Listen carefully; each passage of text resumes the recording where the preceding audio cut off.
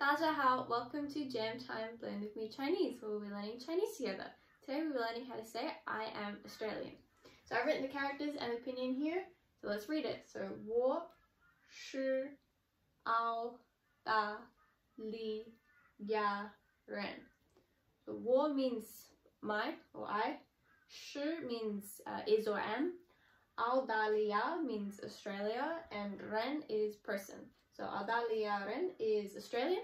So 我是澳大利亚人 is I am Australian. That's it for today and I'll see you in my next video.